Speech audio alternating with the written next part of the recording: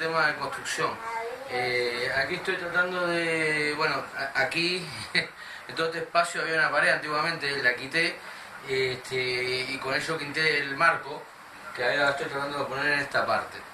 Un problema que estoy teniendo es que este marco eh, de puerta es más grueso eh, porque la pared original que quité era más gruesa que la pared que construí, una pulgada más o menos, 2,5 centímetros.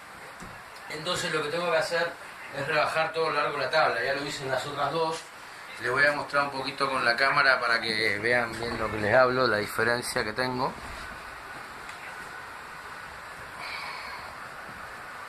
¿Ven? Ahí se ve este, cómo sale del plomo, ¿no? Bastante exageradamente. Entonces lo que voy a hacer es mostrarle cómo se hace un corte recto, bien recto, en, una madera con la sierra circular, eh, implementando una guía fácil y rápida.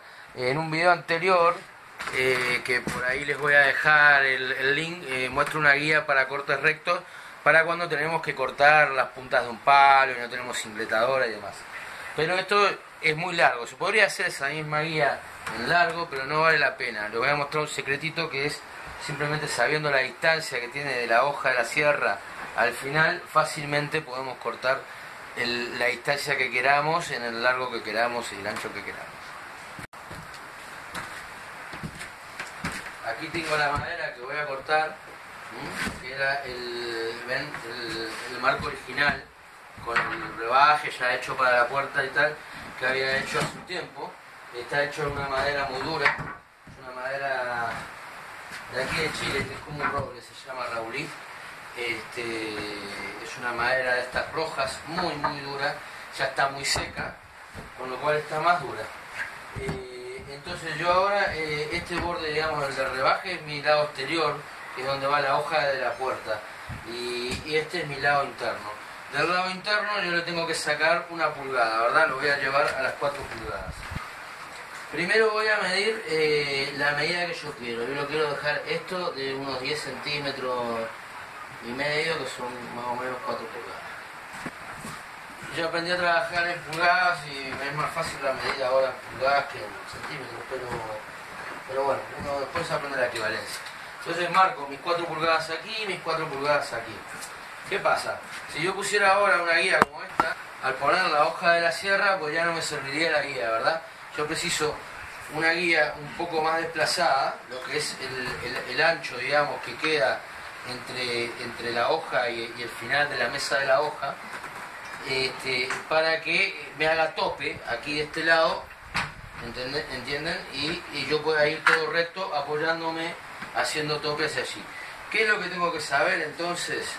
Lo único que tengo que saber es cuánto mide eso, cuánto hay. ¿Cuánto tengo de la hoja, verdad? Al final de la mesa.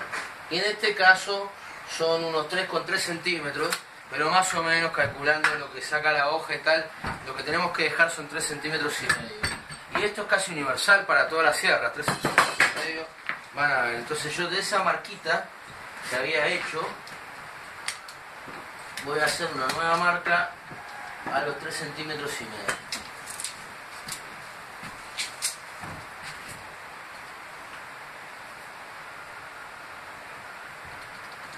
Ya. Teniendo la nueva marca a los 3 centímetros y medio, acomodo cualquier eh, trozo de madera que tenga que sé que está perfectamente recto. En este caso, esto es un guardapolvo de la propia puerta que saqué. ¿verdad? Estos que vienen de, de fábrica derecho, pongo unas, unas prensas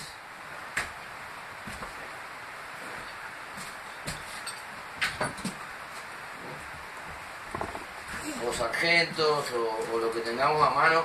Si no tenemos nada a mano, pongo unos tornillos o unos clavitos pequeños, cualquier cosa que me ayude a sujetar.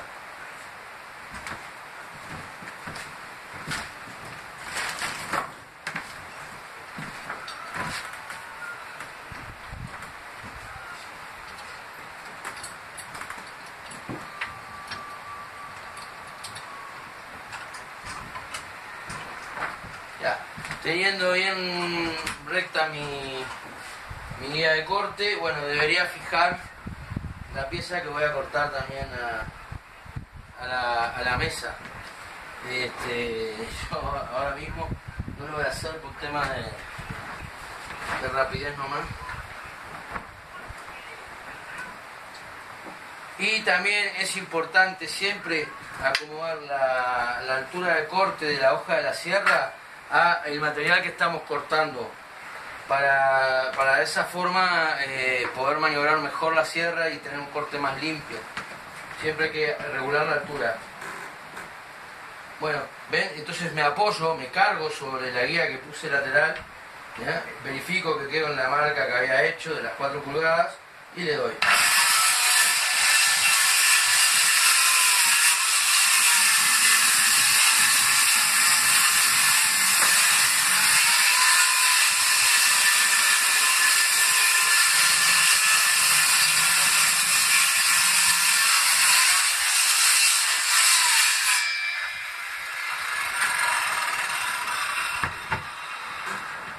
Aquí tenemos un corte recto, perfecto, y lista para colocar de nuevo esta pieza de madera tan buena utilizarla, ¿no? Porque también cuando construimos vale la pena tratar de reutilizar sobre todo estas cosas antiguas que ya son difíciles de conseguir, ¿no? Maderas de esta calidad, esto tiene 5 o 6 años de seco y una dureza que parece ya cero, ¿no? Entonces ya, ya les digo, lo único que hay que saber para colocar una vía lateral y, hacer el corte recto es esa distancia que tenemos entre la hoja y el final de, la tabla, digamos, de la mesa de la, de la sierra, que en este caso son 3 centímetros y medio. Si fuera, también, si no me diera, eh, para colocar de un lado puedo colocar del otro y entonces tomar de referencia la otra distancia, ¿verdad? Que es mayor. Este, pero siempre tomando referencia el calce que voy a hacer en la sierra y de ahí a la hoja lo que tengo que cortar. Bueno, espero que les haya gustado y, si quieren este, ver más videos como este no olviden de darle dedito para arriba y suscribirse al canal. Gracias y hasta el próximo.